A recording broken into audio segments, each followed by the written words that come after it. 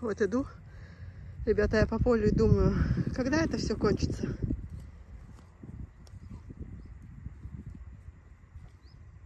Шло стадо. Все коровки отдыхают. Ну нет, не все, конечно. У них свой распорядок. Хотят лежат, хотят едят.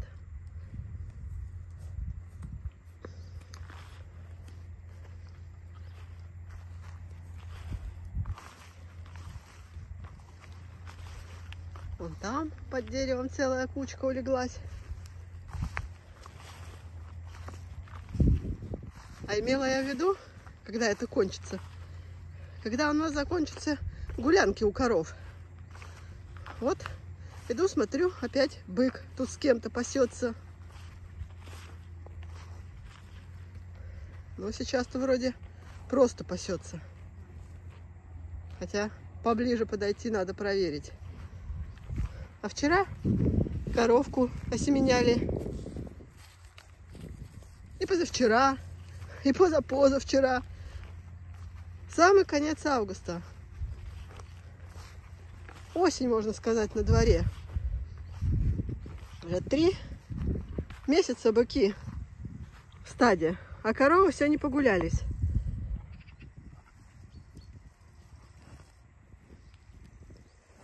Некоторые коровы причем молодые, перегуливают уже по два и даже вот по третьему разу. Ну вот эта блондинка, нет, она не гуляет. И что с коровками случилось, я не знаю. В основном это молодые. Вот все мои старые коровы, ну, такие, например, как рябинка, покрылись прямо вот с первого раза. Милка, ну, еще там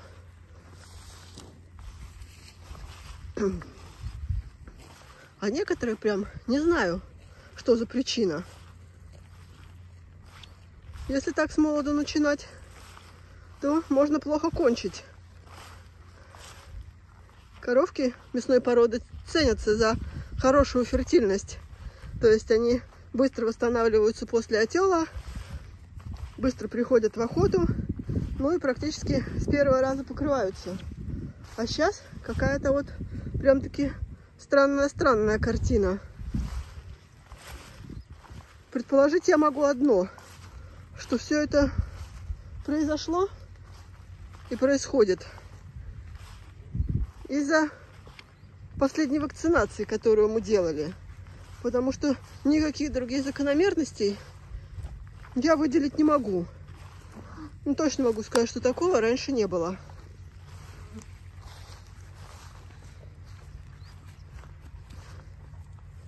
Даже моя древняя калинка может покрыться с первого раза. Кстати, она очень долго не гуляла после отела. А сейчас надо посмотреть, не пришла ли ей вторая охота.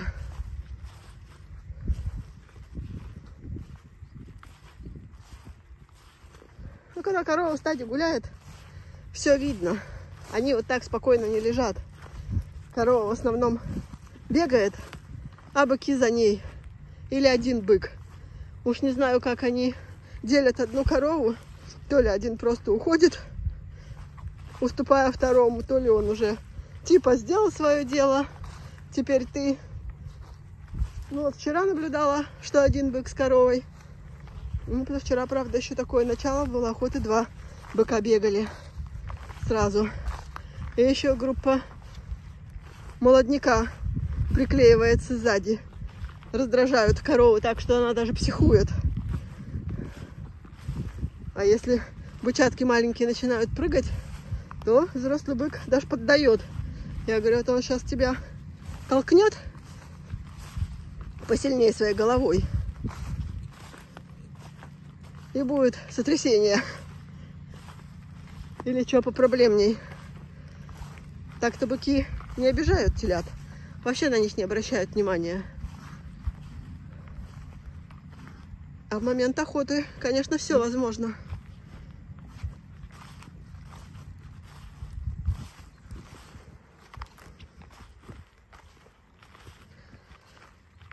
А почему меня расстраивает эта ситуация с перегулом коров? Да просто потому, что отелы растянутся. Так-то, конечно, можно бы вообще и не следить, и не смотреть. Какая разница, когда отелится. В ноябре всех проректалил, посмотрел. Стельные, не стельные. В ноябре уже обычно телят отделяем, и потом быков убираем. Потому что такие отелы уже точно не нужны на август до сентября месяц. Хотя и такие в этом году тоже были. Блондинка одна поздно телилась. Ряженка у нас. Видать, скинула когда-то и принесла малихонную телочку. Тоже очень поздно. Ну, будет всю зиму жить. Будут жить с мамками, отъема не будет. Когда отелы растягиваются, очень плохо. Так бы раз все маем бы закрыться, а сейчас супер бы было апрель-май. Посмотрите, какую ты жвачку себе наживала. Зеленущие слюни капают. М? Такая трава сочная, язык весь зеленый.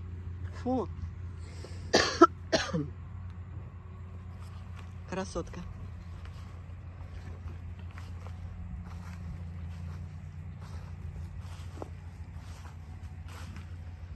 Вот эта коровка, я наизусть ее уже знаю. Она у нас прошлого года не покрылась. И сейчас гуляет и перегуливает эту блондинок. И где-то есть у нас такая же одна. Гуляет, потом молчит. Иногда цикл целый молчит. Потом опять загуляла. Вызывали, смотрели. Так и не поняли. Чего у тебя слюни капают? Жарко? И мухи спать мешают. Глаза лезут, да? Мухи злые становятся. И вот даже и лечить-то не от чего. Проверили и УЗИ, и еще специалист приезжал. Ну, все в порядке. Ничего не находят. Ни кист. С яичниками все хорошо. У нашей там один поменьше. Ну, так, в телках и остались. Ну вот, наверное, до ноября месяца как раз им. Потом других вариантов не будет, как пойдут на мясо.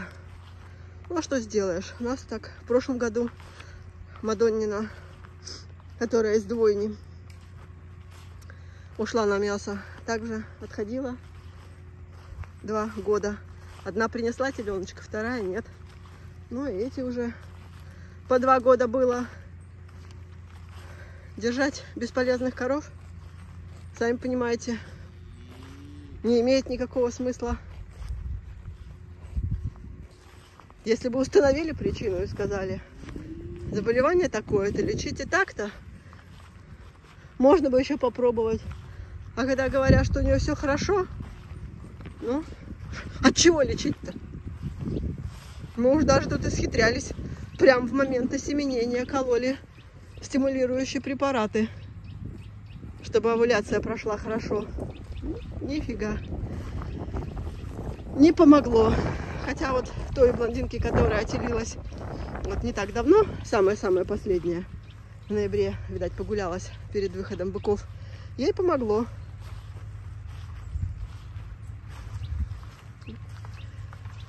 Коровы ходят в моем грибном лесу. Да, вот этот лес, в котором я грибы собираю. И не только я. У нас тут вся деревня ходит. И все время еще так меня спрашивают с претензией. У вас быки в стаде? Я говорю, да, у нас быки в стаде. Но поверьте, у нас есть коровы для быков. Это не бык нападает на людей. Они у нас нормальные, адекватные. А корова может защищать своего теленка А то еще умудряются с собаками на прогулку идти. А коровы очень плохо реагируют на собак.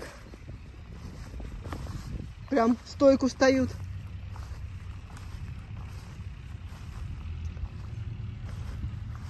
Или так было по первости в основном. Что у вас все огорожено электропастухом? Ну, извините, ребята, это наши поля. У нас здесь пасется скот. Они у нас выкуплены в собственности. Что значит огорожено? Я ж не ваш пришла огород огородила, а по границе. Это земля сельхозназначения. И даже если вы ходили в этот лес когда-то, хотя, честно говоря, и не ходили, и ходить-то сюда не могли, когда вся, все травой было заросшено по колено, не кошено годами. Да какое по колено? Сюда и тропин-то не было. А сейчас еще иногда так, типа, претензию предъявляют. То не пройти, то животные злые, то электропастух, то еще что-нибудь. Мои красавицы отдыхают в лесу. Рябинка, Рада. А когда, ребята, я сейчас говорила, ой, там далеко, когда это все кончится, я-то изначально имела в виду не коров, которые гуляют. Ну, хотя так слово получилось и их тоже. А имела я в виду, когда же мы закончим свою уборочную страду. О, смотрите, наше сеянное поле опять отросло. Второй укос. Первый косили здесь на сено. А сейчас здесь скошено и делаем сенаж. Трава выросла хорошая.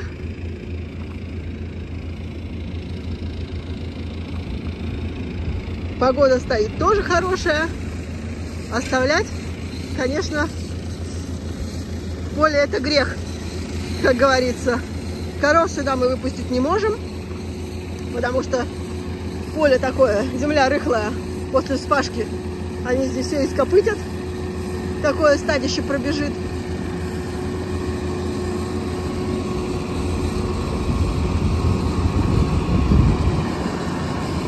Косить и убирать мы, наверное, будем это, до белых мух.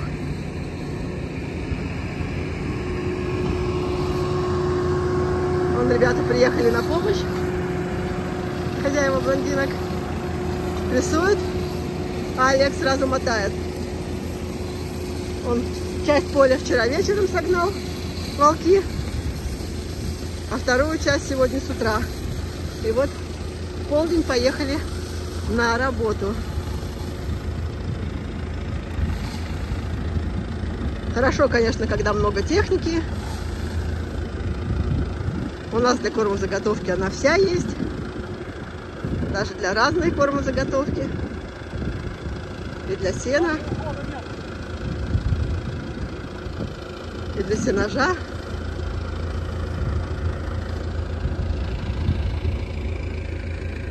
Я пока шла уже, рулончики-то появились.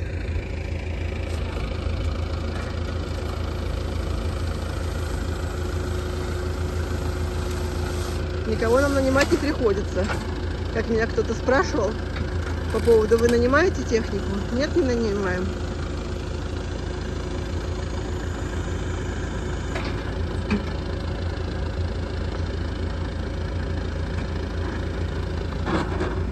А еще спрашивали, вы сено готовите сами?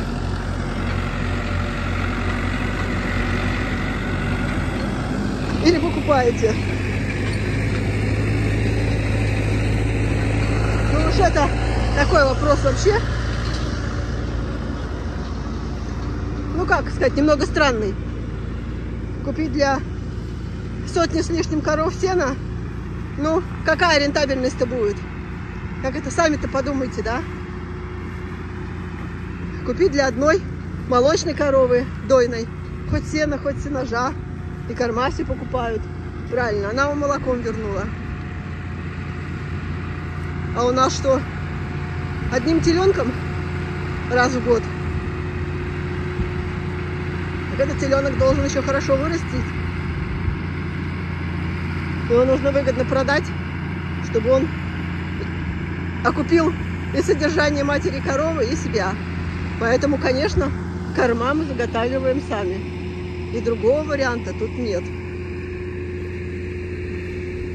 при ведении мясного скотоводства должно быть вся кормозаготовка в хозяйстве производиться самими, своими силами и средствами, ну и желательно на своих землях. Ну, может, конечно, арендованных еще. Ну, в общем-то, нужно иметь гарантию того, что земля это есть. Ну, мы, как я сказала, будем убирать до белых мух. Осталось нам еще одно поле. 14 гектар. Может, чуть больше сделать. Но там еще даже не кошено.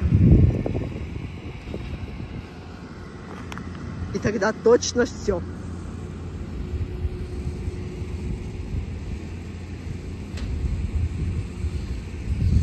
Запасы у нас уже все, все-все сделаны. Сенажа заготовлено уже больше нормы. Пришлось даже пленки докупать.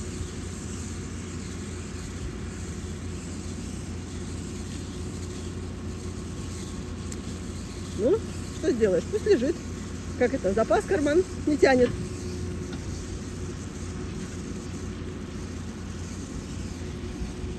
Траву тут поле оставлять не хочется. Так что работают ребята. Пусть работают. Олег вот на обмотчике на своем белорусике. Ну, полежит сейчас пару недель и выведет с этого поля. Положит там у дома, ну или у места кормления, где блондинки будут дислоцироваться.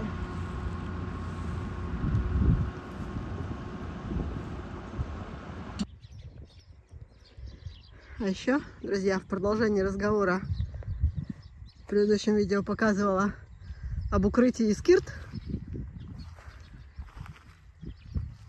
сеном. Покрывали мы флисом. Много я получила замечаний на предмет того, что он касается земли, даже лежит. Я объяснила, что мы немножко не угадали с размером и купили размер больше, чем нам оказалось нужно. Из-за того, что рулоны были смотаны у нас другого диаметра.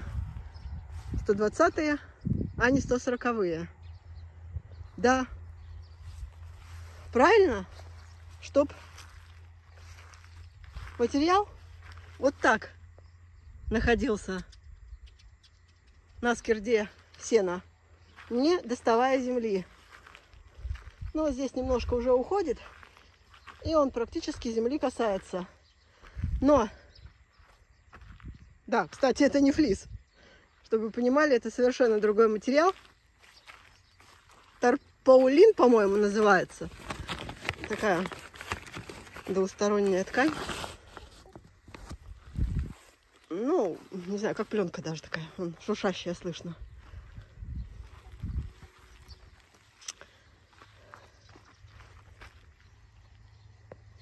Так вот, хочу сказать по поводу длины и правильного укрытия стога.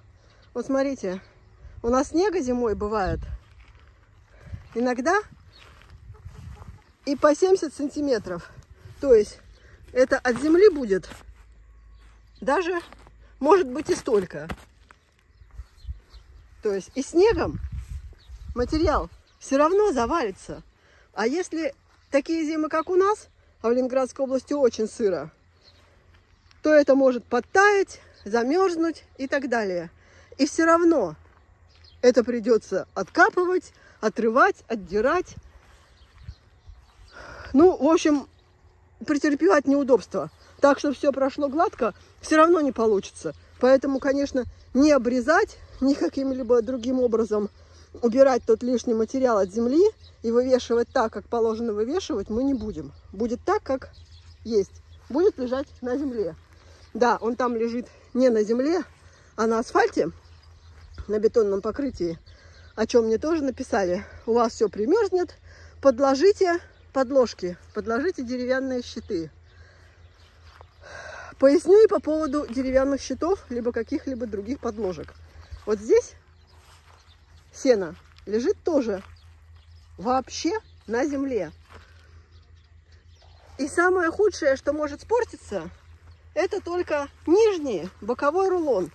Ну, боковой, потому что как раз по нему и может потом стекать сено. Но никаких подложек, ни жердей городить, ни с колес мы не будем. Ставим мы такие стога не первый год, а уж десятый. И ничего страшного здесь нет. Ну, спортилось немножко от земли. Все поправимо. Оторвал корку, а при нашем кормлении герефордов они сами все оторвут, даже сожрут. А щиты деревянные, про которые вы говорили, положить сюда, ну, в общем, практически невозможно. Это не только добавляет работы, ну, сначала где-то надо взять, да, приобрести, потом их уложить, потом укладывать на них. Ну, ладно, что на них укладывать. А вот сами-то подумайте, как все это снимать. Вот подъезжает трактор, как у нас с шипом, для того, чтобы взять рулон. И вот, например, в каком-то вот до сюда месте торчит щит. Ведь мы не можем угадать длину рулона. Как вот здесь, видите, положено в разбежку, да? Нижний ряд выступает. Так и щит может оказаться невостребованным и выступать. Дальше, когда мы взяли ряд, а взяли мы его, может быть, весь. Сразу вот 10 рулонов уйдет. А может быть, не весь. То есть чуть-чуть осталось. Вот, значит, здесь рулоны взяли. И торчит этот деревянный щит. А вот там сено еще лежит на этих щитах. Вытащить, значит, эти нижние щиты невозможно боковые. Ну, и опять же, представьте, снег, мороз, все примерзло это сено прилипло не только к щиту, а щит прилип к земле. А его еще нужно как-то отдирать, его нужно куда-то убрать, а вот тут вокруг все будет завалено снегом. Это не будет зеленой полянкой. Ну и то есть такая абсурдная ситуация. Мы сами себе добавили работы. Трактор будет на этот щит наезжать, он будет ломаться, будут лететь щепки. Ну, в общем, картина ну, не из э, таких приятных я вам нарисовала. Возможно, у кого будет храниться там 10-20 рулонов, и можно делать. Но не для таких скирт, которых по 5 штук за раз имеется. Работать с этим, с этой подложкой, совершенно неудобно. И ничего страшного, что сено лежит на земле, даже на земле, не говоря уже о каком-то другом покрытии, нет – то, что там оно чуть-чуть питает влаги, говорю, особо страшного не происходит. И да, ребята, по поводу этого укрытия еще вот обратите внимание, как накрыт сток здесь и как накрыт был флисом. Флисом он накрыт был так, что вся боковая сторона и эта, и с другой стороны были запакованы. Вот здесь до земли свисал материал укрывной. Этот, вот этот укрывной материал ужасного вида так работать не будет. Для него важно, чтобы, вот я сейчас открыла и показала, да, вот смотрите, видите, вот так, дырочки, вон туда на просвет, и вот там выше, до веревки и дальше. Для него важно, чтобы с торцов был продых, иначе весь конденсат, который соберется на этом материале, уйдет в сено и перепортит вам больше, чем сохранит. Поэтому мы уже наловчились с ним работать. Ну, кстати, уже не покупаем, это просто остатки. Куплен флис. И перевязываем мы вот это веревкой, потому чтобы не улетело. Но он не в натяжку, не плотно. А вот видите, всегда в свободном качении находится. И когда дует ветер, все там продувается. Боковые рулоны не успеют как-либо спортиться. Вот здесь даже поглубже закрыт, верхушечка натянута, притянута. Наверное, с той стороны начнет. Ну и опять же, у нас консервация не на вечное хранение, а именно на сезон дождей. Хотя как, многие опять же писали, что о, я в конце августа накрываю, а в октябре уже снимаю. Зимой ничего страшного не происходит, сено снега не боится. Знаете, у нас вот дожди, третий день как перестали. После укладки стога они поливали так, что здесь бы уже все было пролито. При таком раскладе, если ничем не укрыть, лучше было вообще рулоном в поле лежать. С каждого рулона отдельно стекает лучше. И он хотя бы не портится, чем вот такой скирде. Если уж нечем укрывать, пусть разброс валяется.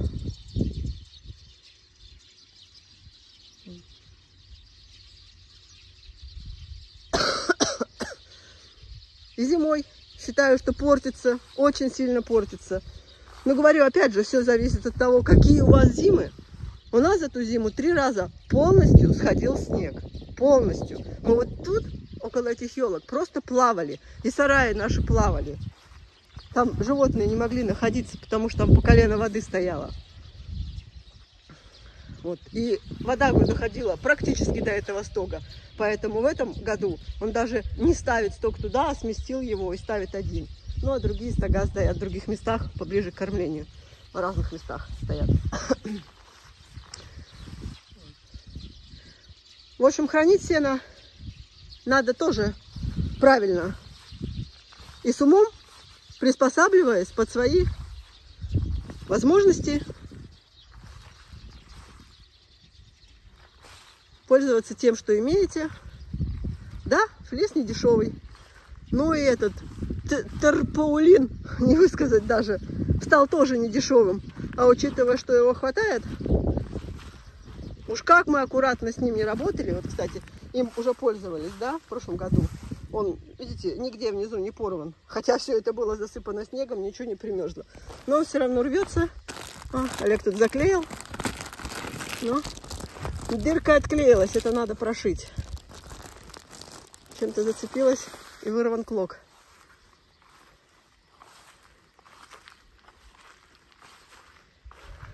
У кого есть возможность, стройте сараи, навесы. А все эти покрывашки, это, как говорится, от бедности. Но на такое количество, даже как у нас сараев, уже не построишь. Очень дорого. Ну, просто очень дорого вот такой сарай построить очень дорого. Ну, возможно, другие вариации, конечно. А влезает сюда 420-450 рулонов. Но это только четверть того, что нам нужно. Ну, хотя нет, треть. Бру, не четверть, треть. Ну, зато здесь лежит самое лучшее сено, заготовленное в самый лучший период. И скармливаем его своим животным с разных мест – из сарая берем самое хорошее, да, и вот со стога похуже, и самый последний кормозаготовки, которая вот, может быть, происходила уже чуть не в августе. Поэтому так мешаем, делаем микс, в разные кормушки ставим разные рулоны, и всегда они получают ценный питательный корм.